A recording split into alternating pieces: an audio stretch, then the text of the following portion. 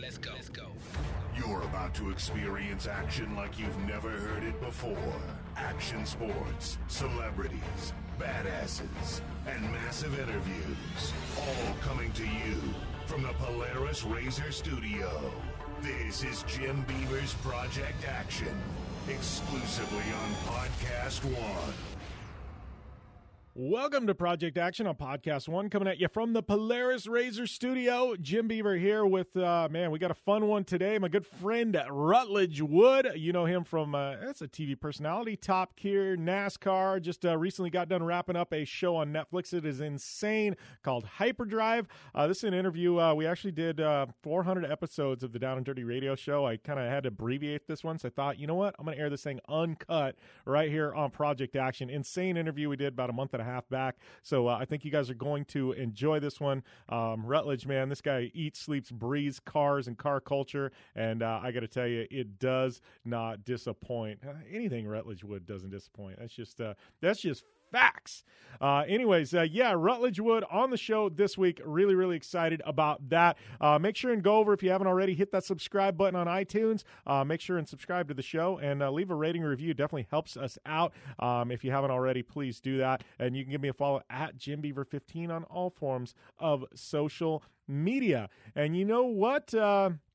Before we get into this Rutledge Wood interview, I'm actually heading out to SEMA next week. So I'm going to keep this one short, keep the intro short. We are going to cut right to the meat of things. But I want to tell you about uh, a couple of our awesome, awesome partners here in Project Action. One of those are good friends at betonline.ag. And you know what? Right now, we've got something called the uh, Sportsnet Challenge going on, where all of us hosts here on the Podcast One Sportsnet, you can check them out at podcast1sportsnet.com. Uh, we got a uh, pick 'em game going on where each week I pick five of my top five picks in the NFL, one that I think are going to win games. And uh, we all compete head to head. And uh, right now, I am right at the top of the heap. I've been doing some uh, some killer picks.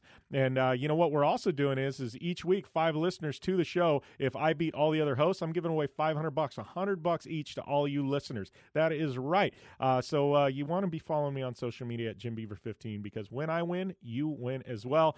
join the conversation at hashtag SportsNet Challenge. You know, NFL, college football, you know, World Series just wrapped up. It's all heating up this week with games that you're not going to want to miss out on, though. And our good friends and exclusive partner, Podcast One, uh, betonline.ag. You can take advantage of the best bonuses in the business. Sign up for a free account. Make sure and use the promo code podcast1 and get a 50% sign up bonus. You know, week eight NFL matchups, San Fran at AZ.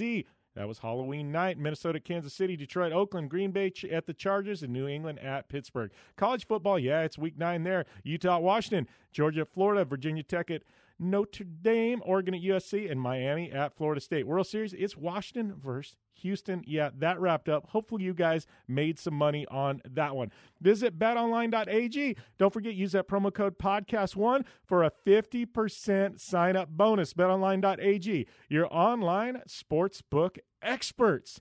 And you know, everybody's got a to do list. Drop off the dry cleaning, pick up some milk, pay some bills. Here's an idea. Let's add, save hundreds of dollars on car insurance. And the good thing is, you don't have to drop off or pick up anything. All you have to do is go to geico.com, and in 15 minutes, you, yeah, you listening right now, could be saving 15% or more on car insurance. Extra money in your pocket? Just may be the most rewarding thing that you do today. And with that, I'm going to roll into this interview with Rutledge Wood. I'd like to welcome my buddy Rutledge Wood to the show, and it only took us 400 episodes to get you here, buddy. well, you know, I was just really waiting. I, I just knew this is a milestone, and so I was really trying to just bide my time and just make sure that I really made it. So, uh, dude, congrats first off and uh, it's so cool that what you do makes such a difference. And uh, I've had so many friends on here, and I've always wanted to do it. We finally found the time, so thank you for having me. Yeah, just it, you and I have been pinging each other back and forth for a good month now, and I'm like, uh, you've got a lot, lot going on, man. Um, I, it's been actually a pretty big month for you, but I know I was just looking. You were at Indy, and it, it's funny because I just was watching your social media today, and something popped up, and I'm like, I've been to Indianapolis Motor Speedway uh, quite a few times. I, you know, I can't say countless times, but quite a few. I can tell you, dude, it is never. I've never had like even the inkling that I needed to go to the golf course, but yet you went and saw that. Then I'm like, how, have I been to how have I been to Indianapolis Motor Speedway? and Never actually been to the golf course. You know, it's like I think it's one of those most of us that go there just it, it doesn't cross our mind, right? But you went out there, you and Dale Jr. Look like you guys, you guys had a lot of fun. We did. You know, it's funny. I actually got to go to my first Indy 500. I've been to the Brickyard. I bet, I bet 15 times. I might have missed one in, in all these years I've been covering NASCAR, but this was my very first year to go to the Indy 500, and I got to cover it for NBC with my buddy Dale Earnhardt Jr. And I told him about this kind of legend that I had chased down the year before. So, you know, they call it the Brickyard because at one time it was paved with 3.2 million bricks when Yeah. they started that place. And I think the year was 1911 when they actually put the bricks down because it started before that. But at some point they started realizing they were wearing a little bit funny and they needed to change it. So they started pulling sections up and then a little more, a little more, paid the whole thing. Well, they had all these bricks and they weren't sure what to do with them. So some of them they went and used in other buildings and other shorings up, but they took a ton of them and they essentially lined the, the, the creek walls of this creek that ran through the golf course that was next door. And there's four holes uh, inside. And so, sure enough, Dale and I went and waited around, and he didn't believe me. It took like an hour to find one that he really liked, but uh, it's something that people have done over the years, and it's such a funny experience because you know we've been in a lot of weird places in our lives for for work and or pleasure, but when you're in a creek that looks a lot like a sewer. Uh, it's tough to convince someone that you should have a be in there. And there's like old beer bottles and stuff. We're all just barefoot with our jeans rolled up, but you know, sometimes you find that one thing and suddenly like, okay, this was an amazing trip. I did have a great time. Yeah. Well, you know, you mentioned that about us being funny places and stuff like that. And I, I had this conversation a couple of weeks ago with somebody, and you know, the thing about motorsport and just car culture in general that I'm very fortunate about, you're very fortunate about, and all of our friends are is like I've been able to travel the country, and you know, and I, I've seen places in this country that most people won't ever get to see. And I mean, I've been to towns and cities and, and backwoods and things that most people that are going to take a vacation, they never go where we get to go. But it's like car culture. Like if there's an event or there's a cool road or it, like it doesn't matter. Like we'll we'll hold an event there and people will come. And I think that's one thing that's rad is is I think you and I both have had these awesome experiences in places that honestly, if I wasn't involved in racing or car culture, I probably never would have been to. You know. Oh, completely. I mean, you think about, and I know you and uh, and we have a great mutual friend in Tanner Foust, Yeah. and you know all the years that we did Top Gear. I mean, we got to go to some insane corners of of the world. Whether it's running a, a logging truck, which you and I both know there's no way they should have let us do that, um, or watching Tanner go rally around at someplace in Vermont. We went to all these cool places that you really just don't you don't get that chance to do it. And I think that's what makes motorsports in this country so unique because we really do find these corners and these places of, of of the country and ultimately the world where we want to go and we see and experience it. Um, I think I feel like you did were a part of that race that Tanner was telling me that kind of goes from somewhere in California to Vegas, and you guys all just haul ass in your Polarises the whole time. Like those are the things that I think, man, I wish I had a weekend off so I could go do a different kind of motorsport. But I think that's what I think this industry does so well is that whether it's on the street or you know off road in the dirt, there's so many different things for people who love motorsport to go watch or to go participate. We're really, really fortunate like that. Yeah, well, and I think you know motorsport and cars in general. It's it's really cool that it's one of those few things that people from all walks of life. It's it's one of those unifying things, and I say every you know every two years, I should say the Olympics are that way, where everybody everybody can come together as one in the United States. You know what I mean? And, and it's we're rooting for one team, one common thing. You know, and there's very few things I think left in the world that are that are that unifying force. But I feel like cars are that way, and racing is that way. Like I can go overseas, I can go to Mexico. It doesn't matter where I go. It, car people are car people, and we all come together. And like when you see something cool, it's you know it's just weird because it's like all kinds of political bound. Everything goes away when you're talking about racing or cars. It's just like it doesn't exist. You know, it's like we're just all car people, and I think that's one thing that's really special about motorsport and and the car, you know, and auto industry and and you know, in car culture is that it is that unifying force, or one of the few things I think left in the world that actually can do that to people.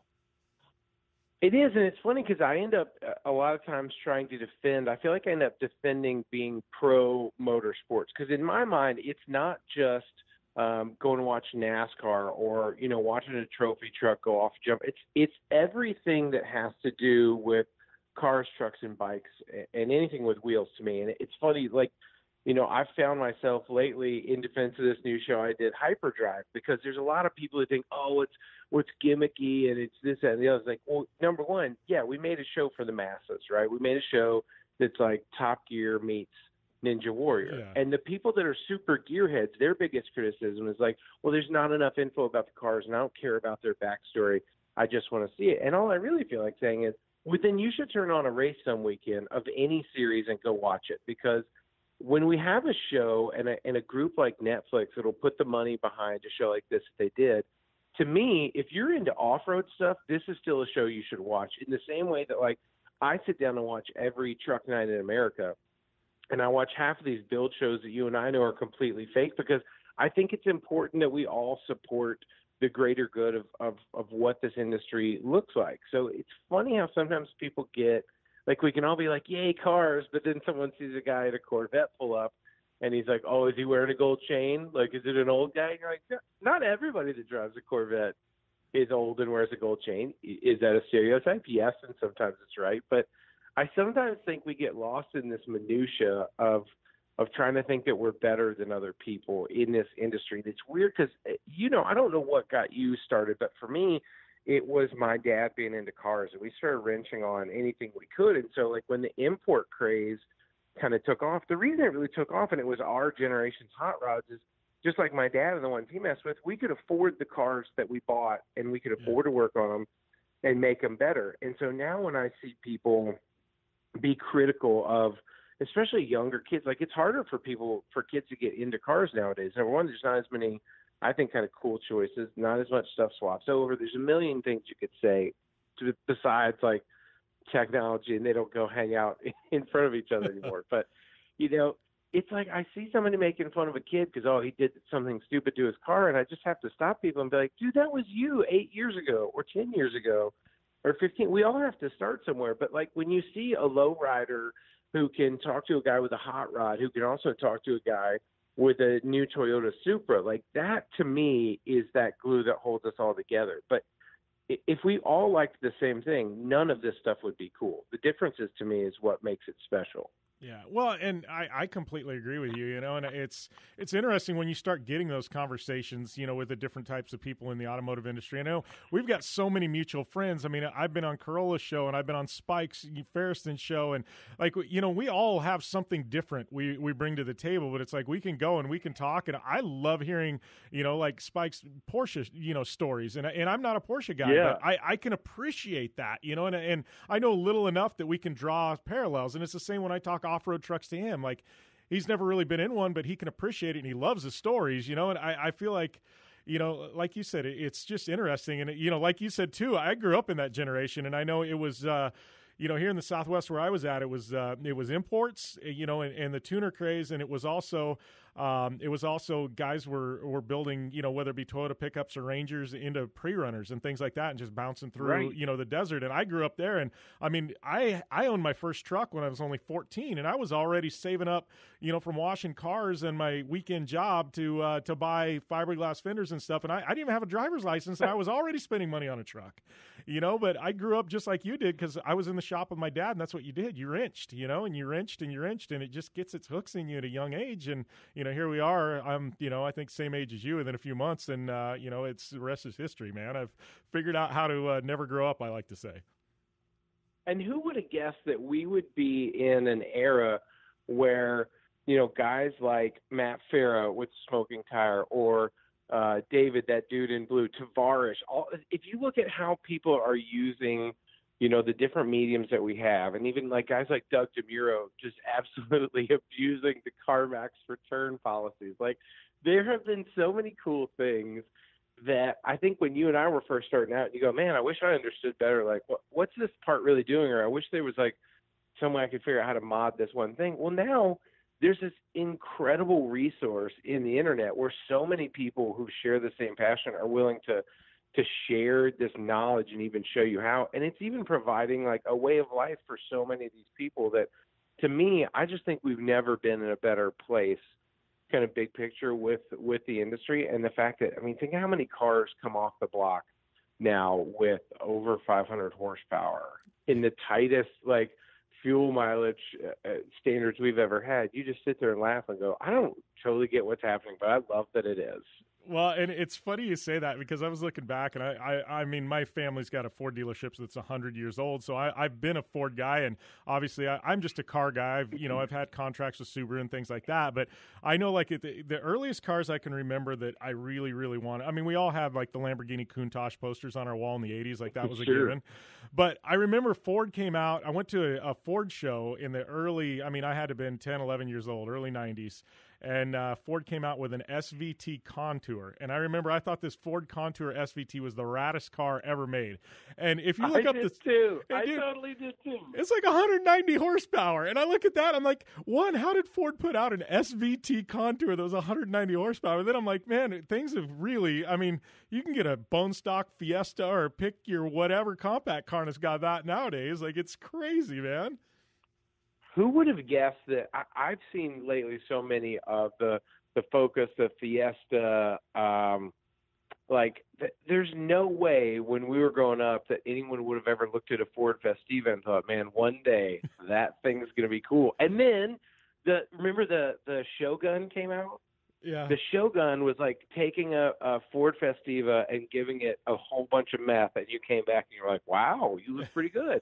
like had the SHO V6 in the back, wide body. The car still makes no sense. I saw one of cars, caffeine and octane in Atlanta, and just immediately thought that I have to own this car. I want to drive this car. I'm sure it's a terrible driving car, but damn it if it's not cool. And someone did it. I mean, there was a time. Do you remember how cool the Probe GT V6 was? dude and it had the turbo on there and uh, that was another dream car of mine i wanted a probe gt turbo with a stick like that was like the dream car now you look at probes dude that was the ugliest car what were we thinking Oh my gosh, I have no idea. And you you don't find them anywhere. And if you do see one, you can't. I mean, you rubberneck so hard to turn your head and think like, what a time that was. When I was in high school, I had four or five friends at once that all had one, and they it was like the goofiest non car club car club ever. Like they thought they were a crime fighting team, but man, those were fun to drive.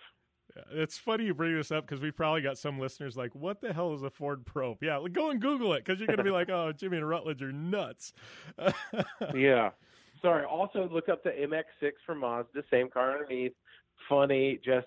But then they they were little torque monsters, torque steer the whole time. I had one friend uh, named Rick who put a single chamber Flowmaster on there, and for the record, it was so redneck, and it's it's like a redneck Ferrari. Like it sounded cool and terrible simultaneously, and we loved that thing. That's funny because I had a single chamber Flowmaster, and uh, I put that on my Ranger with a 2.9 V6, and that thing wouldn't go and get out of its way when I had 31 inch tires on there, but it sounded loud anyways.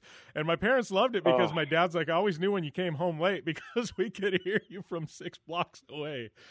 Oh, for sure. Like, it, I get that it's like a time of life, but there's a reason I'm a Magnaflow guy now. I can tell you that for sure. All my cars sound awesome, and none of them sound like hot garbage. That's well, I think that yeah, and I'm a Gibson guy, but uh, I think that muffler is still made out there somewhere. But uh, uh, that is that's funny, man. But you know, you mentioned hyperdrive, and I I wanted to ask you about that because you know you kind of gave the primer on that show, and uh, I, I to be honest with you, I've kind of started watching, but it's one of those I know I want to binge watch it, so I I kind of just been dipping my toe in the water.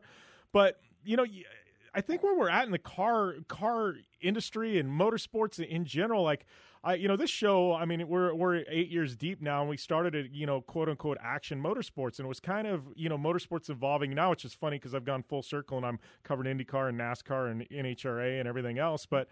You- I, I kind of feel like Tanner and Ken Block. I mean, eh, those are a couple of guys. I mean, you can throw Vaughn and Forsberg and Tuerck and those guys in there as well. But you know, specifically Tanner and Ken, like they kind of created this whole movement where I, I think it, it really showed people, hey, we can do so much more in cars. I mean, with with you know everything that Tanner's done with the Hot Wheels stuff, and you know Ken with Gymkhanas and things like that. And I feel like this is kind of the culmination of where where we're at right now. You know, this whole thing with hyperdrive. Completely. And I think you know what? I don't think we could have a show like this without um, what Ken Block has done, what Tanner Foust has done, because those guys up the bar so much, and they were a great influence on each other, even to to sort of say like, all right, I'm gonna try this. Well, I'm gonna try this, and and that um, for the automotive side, it's kind of like what Pastrana has done for bikes. You know, it's all Yeah. these guys come together to try to make things uh, better. Because one person watched the show and they're like, "Oh, it's like Gymkhana Grid." I was like, "Well, kind of. It's like Gymkhana Grid in that it's this insane all-out competition. Except some of the cars that are in Gymkhana Grid are the most expensive race cars that people have ever seen. So it's a it's a variance. I think what's so cool about Hyperdrive is when when Aaron Catling and the, the guys that came up with the show, they wanted to find something that anyone in the world would watch and go, I want to try it. I got to do that. And to do that, you had to kind of tap into the mind of a kid. Like you know, you remember playing with Hot Wheels and you you'd zoom them around on your floor, and it was like, oh, I'm going to do this jump or I would slide through here. It's essentially that same notion, but on this grand stage. And when the producers interviewed me two years ago about the show and said, "This sounds fun, like is this something you're interested in?" I said, "I, I got to be honest, this sounds like my like perfect show. This is an absolute dream come true, but I don't think anyone's going to give you enough money to make it." And they said, "Excuse me." I was like, "Yeah, no, I just." I hope they do. If they do, please call me. But I think this is going to be impossible to do this right, and you've got to have a ton of money. And and luckily, Netflix loved the idea and backed it. And to see 28 drivers from all over the world, we had probably 15 or so from the U.S., maybe 14. To see all these drivers pack their car into a shipping container two months before, not really knowing what they were getting into, and then they fly to the U.S. to Rochester, New York, of all places and we took the old Kodak factory and turned it into this amazing uh, playground.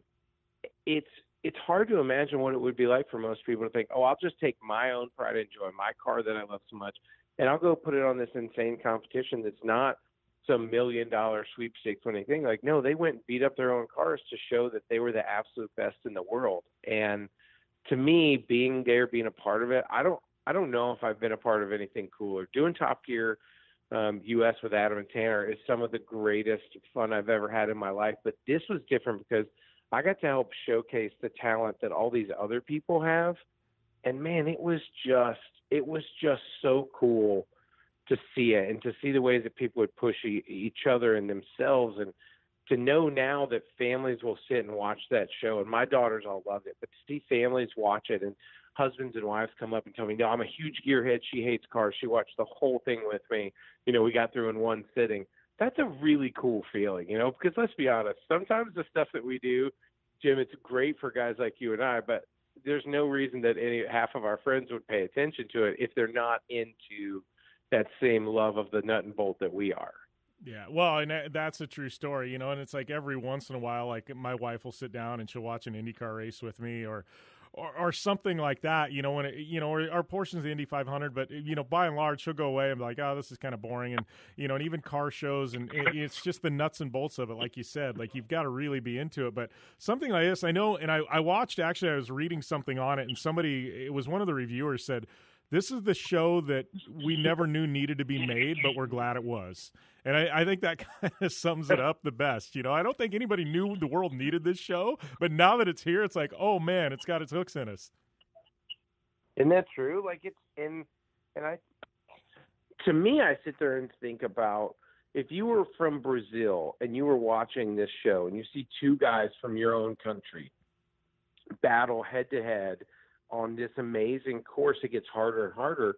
How could you not want to go try it? And there is that chance that we could do almost you could do like regional qualifier type things in the same sort of way that other motorsports said, yeah, come out, try it, you know, see see how it feels, whatever. But we could do that same notion all over the world, and and to give people this great stage because we've had some incredible drivers on there. Fielding Shredder, uh, who's from Lone Star Drift out in Texas, um, ripped it up. Brittany Williams, Farouk Kawai. There's been some amazingly talented people uh, that have been on there. But I also love like there was this gal Sarah Harrow that shows up from Florida in what was her daily driver like two weeks before the show, and she basically takes the interior out of her V6 Mustang. they weld a roll cage in, and she goes out there and gives it hell. And she had been doing some com- kind of smaller drifting in and around um, Florida, but only for like the past eight months in part time. And dude, she got out there with the most heart I've ever seen and ripped it up. And that to me is what I love because don't get me wrong, I love watching the BJ Baldwins and Casey Curries and Jim Beavers of the world. I do. I love to see people who have the talent and the sponsors and everything else to make it. But when you see somebody show up in their own car and go put it on the line and kick ass, it makes you just feel so good about uh, all of motorsports in general. It really does. Yeah. Well, you know, and and one thing that I've really, you know, I've I've tried to do through this show, but and that seems like that show is the same way as I, I, feel like women now like eh, you know in motorsport and in car culture like they, are very accepting. And i know at one point in time it was almost like there's this barrier to entry where maybe there was some interest but it was just like you're not welcome. But i feel like literally in the especially in the last decade but I, have seen the motorsports industry just, just open their arms wide to, to women. And I, I love seeing women come out and whether it be in a jeep out on the rocks or in a utv or in you know in this case on your tv show like i, I love the fact that women are getting involved and some of them are great great phenomenal drivers and i think that that's one thing that we're that i love about the auto industry right now is that we have shifted you know that that paradigm and and now it's like you know women are completely equal with men and they have these opportunities to come in and show what they've got. Completely because and and that's you know what's having three daughters and have them be able to sit there and watch and go, oh, I really like Brittany, or I think Sarah's going to take it. Like that stuff, you know, there's no other way to do that. And, you know, I think that's why so many of us took um, losing our friend Jessi Combs so hard is because she wasn't just a person that inspired some people. She was a, a person that inspired everybody. And I think that's what a show like Hyperdrive can do is because – yeah, maybe you don't own a Lamborghini and and figure out how to get it sideways. But the guy Tokyo that came out from Kansas City in his like junkyard Nissan S13, that guy still ripped it up and he put it all on the line. And there was a huge amount of respect to be given to the people who don't just talk about doing something, but actually get out there and do it. Yeah, no, I completely agree. Well, you know, you got to switch gears here though, because you'd mentioned a couple times Tanner and Adam, and you know, in Top Gear, and uh, man, I, I got to say, you you'd been involved in uh, you know television and NASCAR and stuff like that, but you know, I feel like once Top Gear US hit, and and even Tanner for for the most part, I mean, people knew him from racing, but I feel like that show and and you your three personalities when that all came together, I feel like that just completely you know skyrocketed all your guys' careers, and I mean, made you you know, not that you weren't household names before, but really put you guys on the map. And I know, you know, I, I've you know I've been friends with Tanner for a long time, and that thing kind of came to an end, and and things happen the way they are. But there there's been fans like I've seen so much on social media. Do you guys talk at all? And it, I mean, is there ever a chance you guys even reboot this thing as like a a YouTube series or something on Netflix? I mean, is that in the back of your guys' minds, Rutledge? Oh man, it's you know what's funny? It's always on our minds. Do it doing that show with those two um, and you know, it it was any show like that that has ever existed is going to have some kind of growing pains. And I think that what the three of us did well together is when they interviewed all of us and and said, "What do you think is going to make this show succeed or fail?" I was like, "Well, if you got three people pretending to be the guys from the UK, this thing's going to fail, and I don't want to be a part of it." And they're like, "What do you mean?" I was like, "I'm not here to be." a Clarkson or a Hammond or a Mays. Like I just I'm just me. So if this works, I'm all in. And and I remember the first day that I met Tanner, I was like starstruck because here's this guy I've been watching for years, um, you know, through through Drift and Supercars Exposed and all this other stuff. And there were all these like big Hollywood dudes that were there. None of them knew who Tanner was, and none of them knew who I was. Um, it was a really funny thing that happened. And then we met Adam, and things just really clicked because we shot a bunch of stuff together before we ever shot a single show. But I think what was cool is that we didn't pretend to be you know people that you needed to listen to like we weren't trying to pretend to be anything other than three guys on these insane road trips and that's why you should enjoy it so what's cool is i think people got to like grow with us and then you know by the end we had done 72 shows over six and a half almost seven years for something that was supposed to be a like a five year 50 show max kind of deal. And the only bummer is really like there's no easy way to get around it. The three of us wanted to keep doing the show and History Channel wanted to have more of it, but BBC got so lost with the UK guys leaving and and they just they ultimately they've killed a brand um, in a really sad way that so many of us um, loved. So I wish I could tell you that we were going to totally reboot Top Gear and um, save it from the ashes, but sometimes you got to be able to admit that like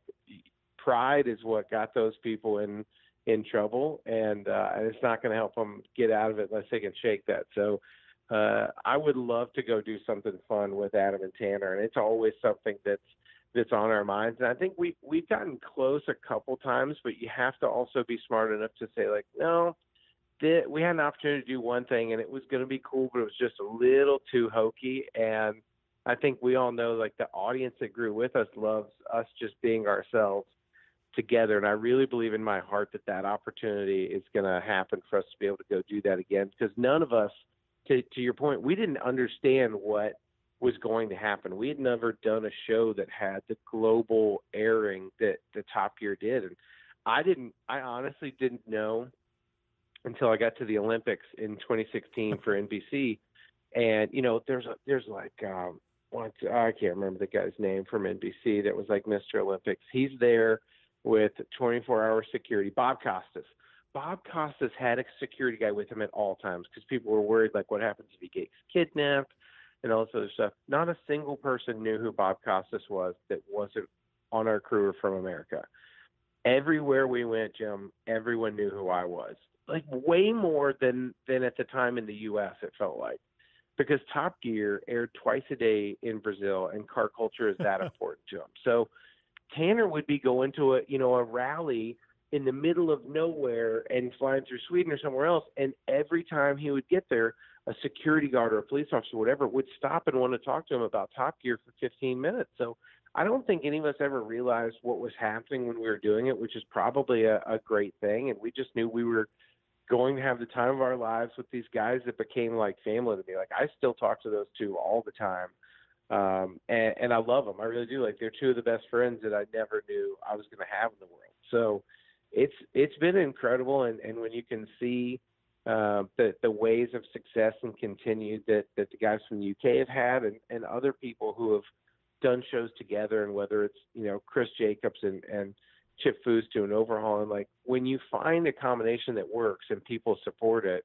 um, you got to be smart enough to keep doing things with those people when you have that chance. So uh, I really hope, and I think we're going to get that shot to go do something that's the right thing. Because you know, you also we don't want to show up uh, doing something that like we can't pretend to go drag race cars together. Like we couldn't go show up to like Street Outlaws yeah. and have it make any sense. So uh, we'll see. But I love those guys, and we talk about it all the time for sure. Yeah. Well, and I think you know, like you'd said, it's funny you know because a lot of even reality TV nowadays it's so overproduced and I even personalities like I you know you'll know somebody and they'll go on a show and I'm like that's not really that person and uh, I think right. the, the, key thing with Top Gear is that let your guys' personality shine. They never directed you, hey, you need to act this way. You need to be this guy.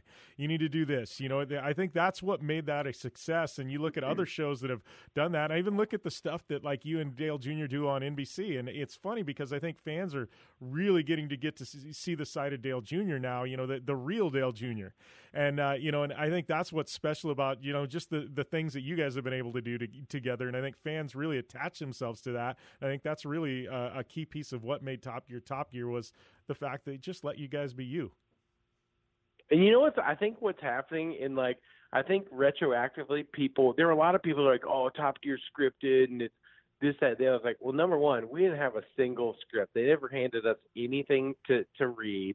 Um, now I think people were confusing the notion of like it's definitely a show that's produced like there was a reason like I love Roadkill but there's a reason that Roadkill wasn't on TV for the longest time because that was a absolute natural arc of these two friends. It's David and Mike, and they're going to go do something stupid, and you're going to see what happens.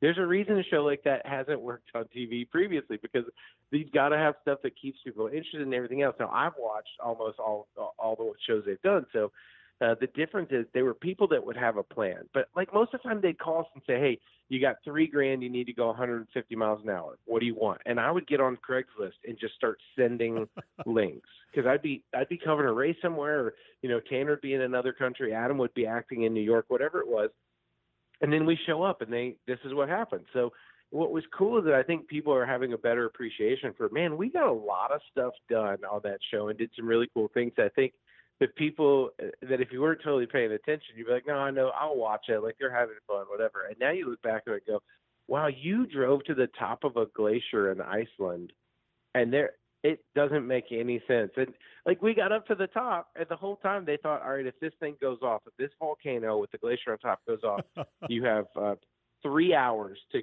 to get down before it, it's like mass chaos because it's also going to create a flood, of course, underneath. And I was like, three hours? It took two and a half days to get up here. What am I going to do with three hours? yeah.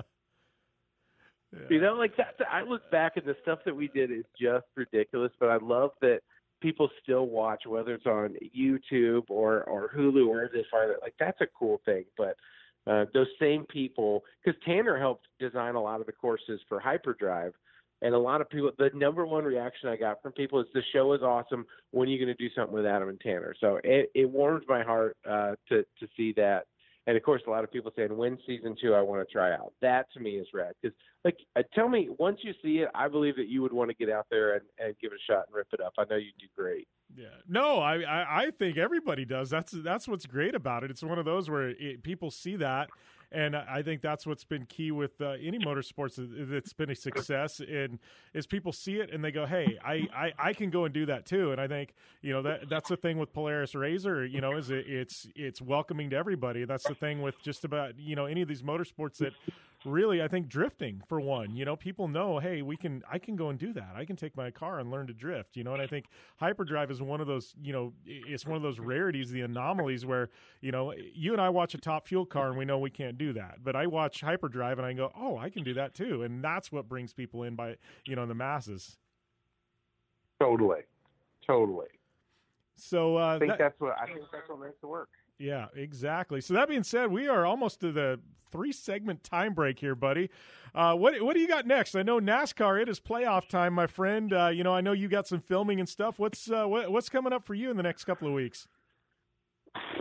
Well, uh, I'm working on uh, another show for uh, Netflix, and I'm not allowed to tell you what it is yet, but it'll be awesome. Um, hopefully, we get to hear some good news on Hyperdrive soon. And yeah, NASCAR and NBC is heating up. We got our you know the field set for our 16 um, people running for the championship. So now we just we got 10 more races to see how all this stuff's going to shake out. But uh, I'm bummed, man. Jimmie Johnson didn't didn't make it. I know that would have been awesome, but uh, I got a feeling we're going to see maybe Denny Hamlin. Uh, it's been an insane year for him. Maybe even Kyle Busch. I don't know who we're going to going to pick, but it's going to be an awesome year, that's for sure. Yeah, I got to say, as uh, as a guy that uh, knows both of Jimmie's brothers and how much work that uh, Jarit put into uh, getting his old uh, off road truck back together, I absolutely the entire off-road community was so stoked on Jimmie Johnson bringing back the old Chevy Lightning for uh, theme for for Darlington and the video he put out with the old off-road cool truck. was that, dude? Uh, dude, I I don't I I swear the entire off-road industry was literally on cloud nine because of that. Like I don't. I know Jimmie's still friends with a lot of people in the industry. He hasn't been back in a while, and rightfully so. He's trying to become the greatest NASCAR driver of all time. Um, right. But dude, like that was so so rad. I mean, it gave me goosebumps because I grew up. My dad raced against Jimmie in Class Eight, and then to see him bring that truck back, it was like so rad. And Jarit, man, he did such a ridiculous job. That that thing, you know, to to dig around and find period correct parts and to rebuild that truck the way they did and uh, we got to give credit to Ally Bank. The fact that they said no, totally, we make make it exactly like you had it. Because a lot of these companies get in there and they're like, yeah, let's do a throwback, and it doesn't look anything like what they're throwing back to. But you know that truck, without that truck, we would have never had Jimmie Johnson in NASCAR. Is the truth. So to me, it's not only a piece of off-road history; it's a piece of NASCAR history, and that's what I loved about seeing it there in Darlington was just the coolest thing ever. Yeah, and now I know everybody's already talking. Oh, hopefully Jimmie takes it to the NORRA Mexican 1000, you know, the vintage race, and takes it down there so oh, we can see him run that. And I got to think that's on, on his radar at some point. So uh, we'll see. He's got to be. He's so cool, man. I know he'd do it. Yeah, I, dude, I'm sure he is. And like I said, I know he's he's still friends with a lot of people in the industry, and uh, I can tell you we'd welcome him back with open arms anytime he wanted to come back. And um, I'm sure Robby Gordon would uh, give him a little rub here and there too. So it'll be fun to have him back. you know it. Yeah, Jimmie versus Robby in the desert once again. Wouldn't that be a storyline, man? I'd be there. I'd, I'd, be I'd be on the front row. Yeah, I think both of us would. Oh man, Rutledge, dude, thank you for the taking the time for uh, episode number 400, buddy. I can promise you it won't be 400 episodes before we do it again, man. Amen. Hey, congratulations. Thanks for having me. So proud of you, man. Thanks for uh, for doing what you do. This is such a cool thing to be a part of, and uh, and you're a legend. Thanks for having me. Well, thank you, buddy, and I'm sure we'll see you out at that General Continental Tire uh, party at SEMA once again, right? Yes, I can't wait. See you there. Always fun with Rutledge Wood. Uh, thank you guys for tuning into the show. Uh, you know, I know uh, obviously I am off to SEMA. Be checking out my social media at Jim Beaver 15. We'll give you all my schedule of appearances. We'll be dropping, uh, actually recording live a couple of shows that week right there from the SEMA show floor. So uh, I think you guys are going to enjoy those shows. And you know, if you like my show, you're going to love the official Lakers podcast on Podcast One. Join Emmy award winning sports reporter Susie Shuster and uh, co host Aaron LaSalle Sewell as they discuss the Lakers news of the day. Break down the games from the week and have exclusive interviews from players, coaches, and sports personalities. Don't miss the official Lakers podcast every week right here on Podcast One or wherever you get your favorite podcasts. And once again, if you enjoyed Project Action, hit us up on iTunes, hit that subscribe button, leave a rating review, and uh, once again, follow me on social media. Um, and, uh, you know, I don't know. I'm heading off to the SEMA show. I got a lot of stuff cranking, but uh, keep along with the fun, uh, you know, on social media with me. And don't forget to support betonline.ag. Use that promo code podcast1, as well as uh, check out geico.com to spend or to save yourself 15% or more on car insurance. All right. See you guys next week. Have a great one.